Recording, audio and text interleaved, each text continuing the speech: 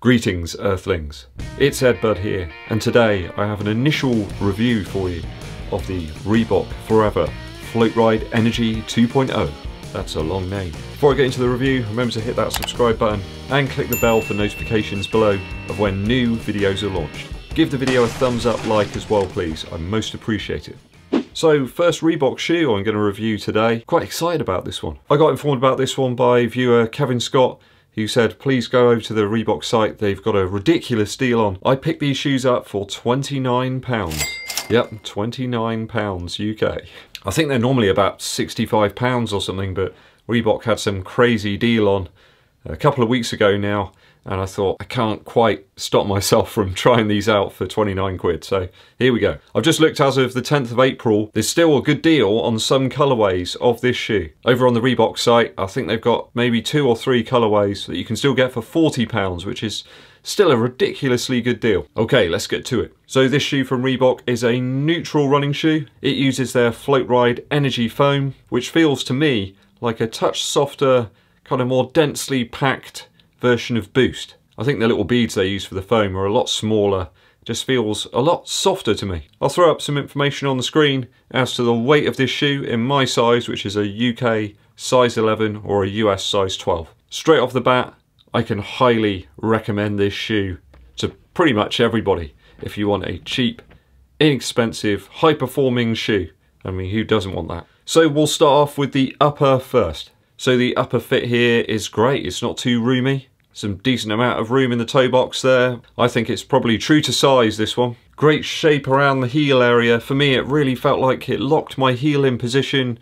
I didn't really feel this flare at all. Certainly does remind me of the Pegasus Turbo 2. Yeah, it does remind me of the Turbo 2, that heel flare. And a little bit of the Pegasus 36 as well. They're very similar, in fact. I'm wearing this one now. The mesh in the upper strikes a good balance between support and breathability of the shoe. There's a booty construction within the shoe. It starts though a little further down. I've noticed those kind of pieces that go around the midfoot start a little bit further down than something like the Pegasus 36. I find it very breathable today in temperatures of about 12 degrees. I headed out very early this morning for my run to avoid the big build-up of people I was expecting who might be walking around and using their one exercise a day, but also so that I could avoid the very hot weather. It's now 23 degrees outside. For the UK, it's got very warm very quickly. I'm not complaining about it. My wife's loving it. In fact, she's sat out there in the sun just reading her book and enjoying herself. And I'm inside playing video games and playing guitar and looking at running shoes. Because why not? Why not? Makes me happy. Got to do the things that make you happy. I can imagine though this shoe being quite warm for those of you who live in hotter, more humid climates. The laces are a strange sort of rope-like type. I've not really seen anything like this before. Perhaps similar to the Triumph 17. They don't sort of fall like normal laces do. They've, they've got a little bit of sort of straw-like quality about them. Something like that. You guys know I don't like elastic laces. These aren't too elasticated. They kind of are what they are. I think if I was a superhero, I would be... I'd be Rigid Lace Man. A kind of useless and forgettable superhero. His comics would probably be left to haunt the comic book bargain bins forevermore. Lockdown was really simple in this shoe. It was a process of put the shoe on, tighten the laces up, and knot them. And it was perfect straight off the bat. You have got these kind of weird lace loops here that they've put in.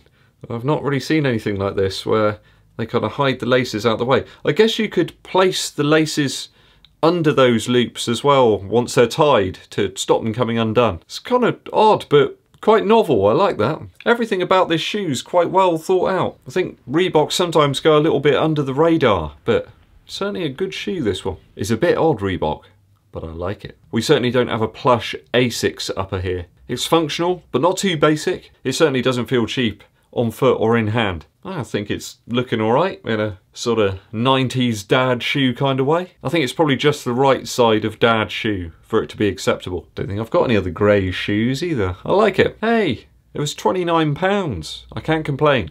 I'm going to give this one a 2.5 out of 3 for my initial upper review. On to the midsole next. That's possibly my favourite part of a running shoe review is the midsole. Mmm.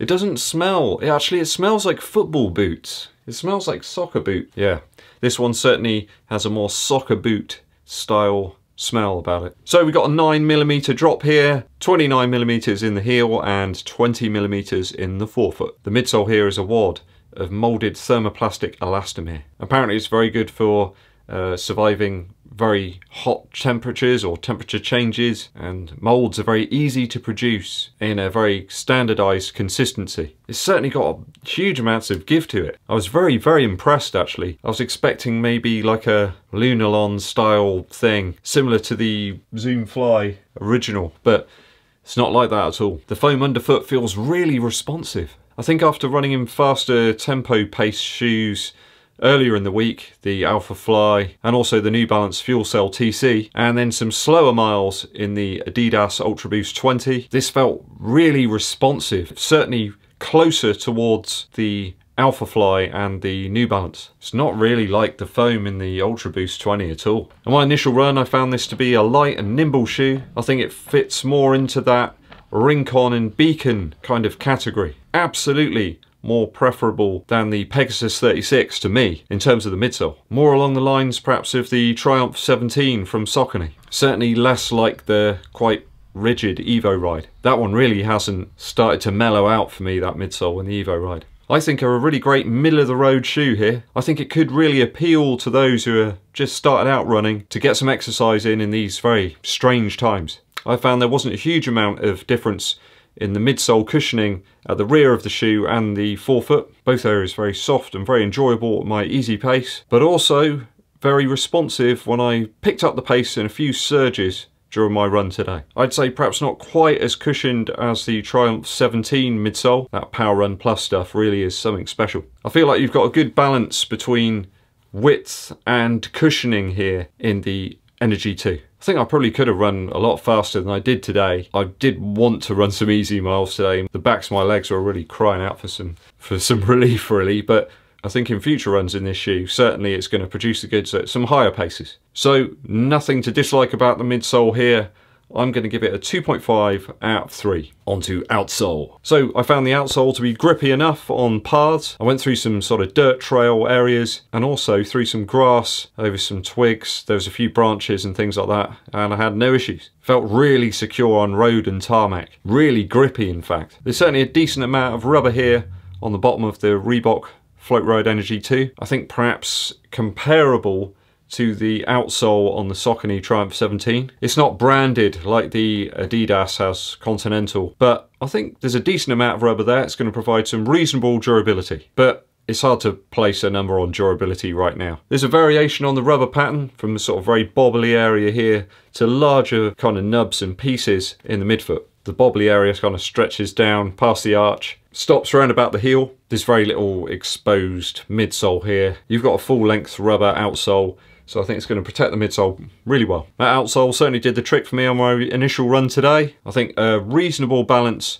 between rubber thickness and coverage. Didn't get to try it in any wet conditions, so in mind of that, I'm going to give it a 2.5 out of 3 for the outsole on my initial review. Quite a quiet shoe actually as well in terms of the outsole. I did come up towards a couple of people at one point and they just didn't hear me because the shoe's so quiet I had to kind of call out to them, runner on your right, and they just ignored me. In terms of value, even at full price of £75, I think it's a great shoe. I think it really could open doors and provide some opportunities for new runners or experienced runners alike. Really great middle of the road shoe. You could use this for a lot of stuff some faster paced tempo runs, some slower miles, some long miles at low paces. I think it's a winner. So I'm going to give this a 3 out of 3 for value. Just looking online, they've got some pairs of this shoe in some of the other colorways. I don't think it's this one, it's like a true grey colorway. And you can get it for £40 right now. That's a crazy deal, that's brilliant. So if you've got any more questions about the Reebok Forever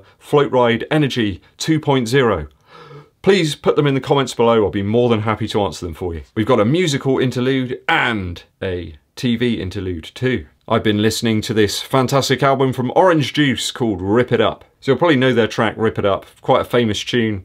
Of course the songsmith Edwyn Collins was the main man in Orange Juice. Another super track on here is Breakfast Time which is, I've got to be honest, my favourite time of the day. So do check out Orange Juice, some really great stuff, kind of lifting spirits, quite poppy, quite quirky. Another thing I really want to watch again is The Good Life.